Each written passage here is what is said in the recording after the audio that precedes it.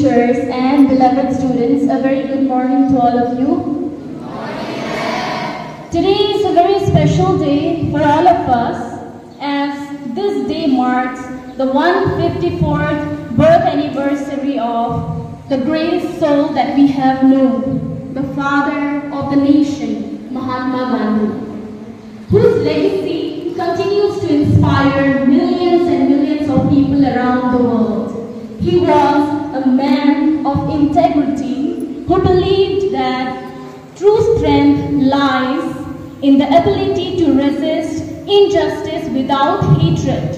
His undying commitment to the concept of ahimsa, the philosophy of ahimsa, non-violence, entirely transformed the freedom struggle of India. We remember the great soul. We keep the great soul in our remembrance for his deep understanding of humanity. He was a person who devoted his entire life to work for humanity.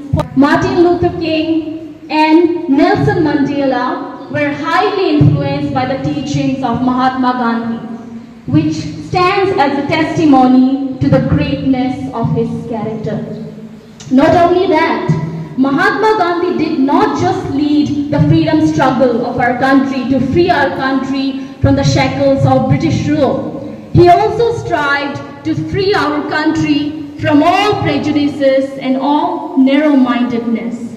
For that, he stressed on one of the most important tools for social change, that is education. Mahatma Gandhi is ourselves that this day we strive, we promise to strive to do the best.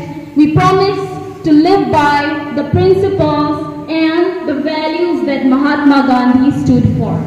So with these words, I urge the head of the institution, most respected Principal Sir, to please pay homage to the great soul by lighting the lamp and offering flower, followed by all the teachers and the house captains.